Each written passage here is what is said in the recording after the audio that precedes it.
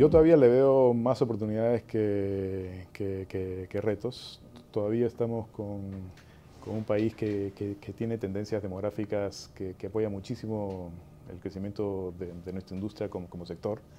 Tenemos el bono demográfico que, en países jóvenes como, como el nuestro todavía nos da unos 30 años en el que la población eh, que trabaja es mayor que, los niños y los ancianos. El crecimiento desordenado que, tienen las, ciudades genera que, lo que antes era el rol de los parques, las plazas, donde la gente se reunía y, y, sociabilizaba, ese rol lo están tomando los moles.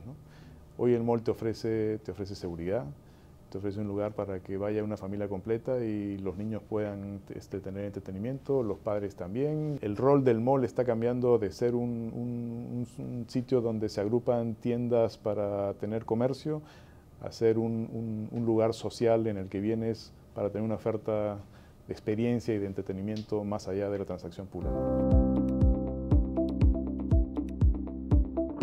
¿Qué hace que, sigamos creciendo más allá de, los, de, tener más tiendas? Es el tipo de tienda que tenemos y la experiencia que damos. En, nuestro mall este, tenemos lo que le llamamos los flagships o las tiendas bandera de los principales operadores. Cuando viene un H&M, pone su flagship a nivel Latinoamérica acá, este, tiene una división especial de, este tipo de tiendas este, de bandera. Nuestra tienda compara con la que tienen en Las Vegas, con la que tienen en Nueva York. Hay unas 12 a nivel mundial. Somos mucho más grandes, el, doble que la que tienen en Chile, más grande que la que tienen en México, más grande que las que tienen en Brasil. Eso es lo que ha hecho que el, que el, que el mall este, se, diferencie de, de, otros centros comerciales. Hemos invertido casi 120 millones de dólares y con esos 120 millones de dólares Hemos hecho H&M, Forever 21, hemos remodelado los accesos del, del, food hall, eh, hemos puesto nuevos restaurantes en el food hall, este, hemos hecho París y hemos hecho justamente lo que tú mencionas que es la nueva nave, que, es nuestra, la joya de la corona.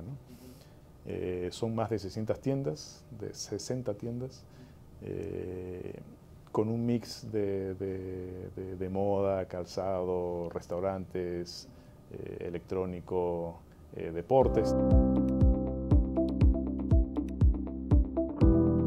Oferta, eh, una oferta comercial atractiva, complementarla con, una oferta gastronómica que se traduce al final en, una experiencia.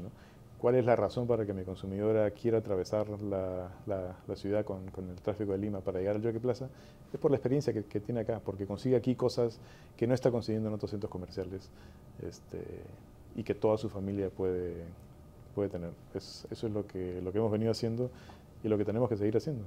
Y haciéndolo cada vez mejor porque ahora hay más competidores.